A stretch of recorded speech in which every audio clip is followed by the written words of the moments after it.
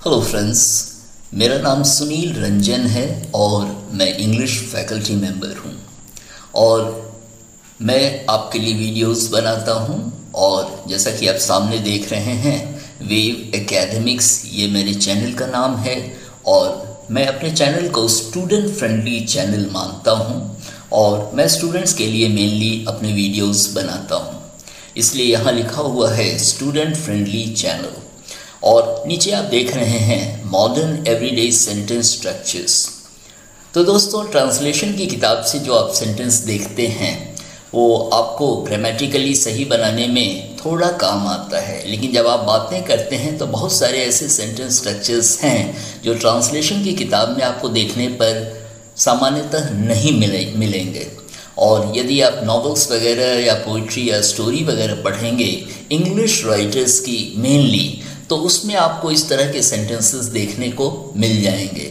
इसलिए मैंने लिखा है, आज का ज़माना जो है ये ऑनलाइन है और सारी दुनिया जुड़ चुकी है इंटरनेट के कारण। तो मॉडर्न एवरीडे सेंटेंस स्ट्रक्चर्स जैसा कि आप यहाँ लिखा देख रहे हैं, उसमें तीन सेंटेंसेस आप देखते हैं। आस्क हिम इन मतलब उसको अंदर बुलाओ और यह किसी आपको ट्रांसलेशन की किताब में नहीं मिलेगा। दूसरा है शी केम टायर्ड यह भी आपको नहीं मिलेगा। और इसका अर्थ होगा, वह थकी मांदी आई। और तीसरा है चीयर अप मतलब किसी का आप जोश बढ़ाते हैं तो आप उसको चीयर अप कहते हैं मतलब खुश हो जाओ। तो इस तरह के सेंटेंसेस मैं देता हूँ अपने वीडियोस में, ताकि आपका इंग्लिश का स्टैंडर्ड काफ़ी बेहतर हो। और आप किसी से बात करें तो सुनने वाले को भी लगे कि उसकी बात किसी से हो रही है, जिसकी इंग्लिश बहुत अच्छी है।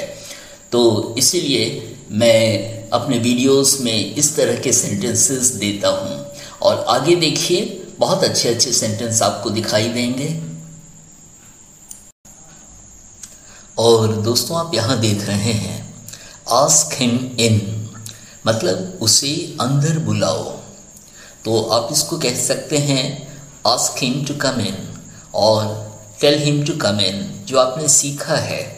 और यहाँ मैं आपको कह रहा हूँ आस्क हिम मतलब उसे अंदर बुलाओ। और बहुत ही आसान है और आज की आधुनिक ज़िंदगी में ये सेंटेंसेस बड़ी बड़ी कंपनीज़ में लोग खूब बोलते हैं, क्योंकि उसमें इंग्लिश में सब वहाँ के स्टाफ फ्लुएंट होते हैं, खासकर मल्टीनेशनल कंपनीज़ में। और दूसरा सेंटेंस है she came tired she came tired मतलब वह थकी मांदी आई। तो हम कह सकते हैं शी केम टायर्ड और बार बार जब आप प्रैक्टिस करेंगे तो आपकी ज़बान पर ये सारे सेंटेंसेस चढ़ जाएँगे। और एक बार आप समझ गए तो जैसा सिचुएशन आएगा, आपके मुँह से अपने आप ये सारे सेंटेंसेस निकलने लग जाएँगे। और तीसरा आप देखते हैं, यहाँ है चीयर अप चीयर अप कहते हैं, खुश हो जाओ। किसी का जोश बढ़ाते हैं तो हम कहते हैं चीयर अप मतलब खुश हो जाओ। और यहाँ दूसरा सेंटेंस हम देखते हैं दोस्तों, और यहाँ लिखा हुआ है डोंट यू डिस्टर्ब मी मतलब मुझे तंग मत करो।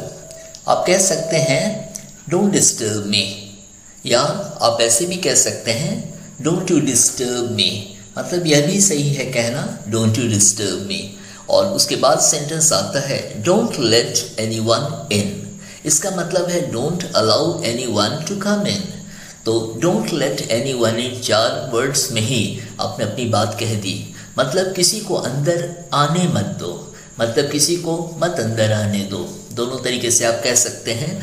तो don't let anyone in मतलब किसी को अंदर आने मत दो। और थर्ड सेंटेंस यहाँ देख रहे हैं। और यह है डोंट बी सो क्रेजी अब दोस्तों क्रेज़ी का मतलब बहुत होता है। क्रेज़ी का मतलब दीवाना भी होता है, मस्ताना भी होता है, आशिक भी होता है, आवारा भी होता है, पागल भी होता है, मस्ताना भी होता है।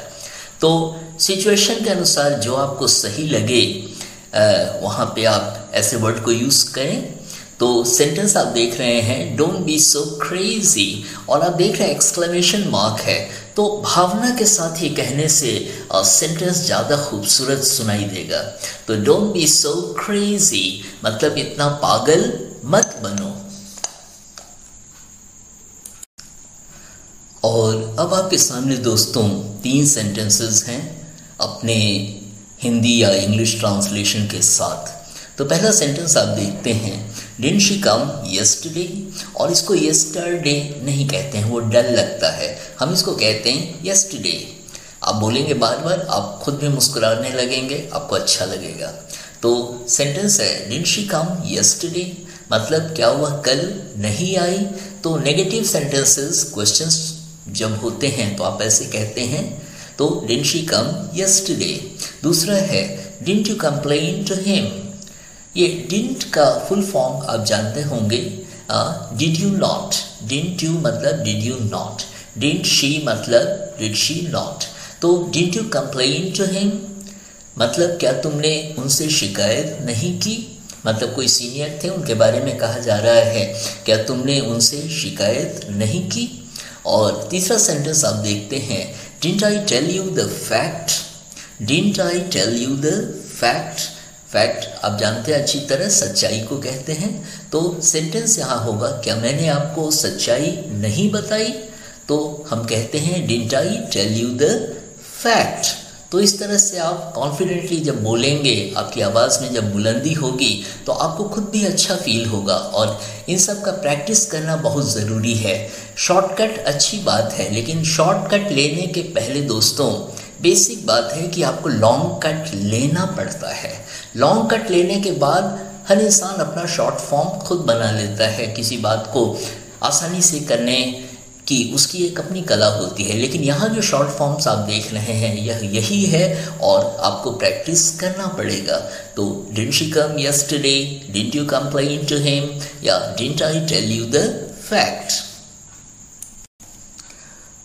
और दोस्तों, यहाँ देखते हैं सामान्य जीवन में डे टू डे लाइफ में हम इस तरह के सेंटेंसेस बखूबी बोलते हैं। और कितनी बार हम बोलना चाहते हैं, लेकिन ये सेंटेंसेस हमारे दिमाग में नहीं आते। इसलिए मैंने ये सब सेंटेंसेस यहाँ पे दिए हैं ताकि आप इसकी प्रैक्टिस करें तो आप बखूबी बहुत अच्छी तरह इन सेंटेंसेस को बोलें। और एक, दो, तीन, चार बार आप बोलेंगे तो आपके दिमाग में इतना फिट हो जाएगा कि जहाँ भी सिचुएशन इस तरह का होगा अपने आप आपके मुँह से ये सेंटेंसेस निकल पड़ेंगे।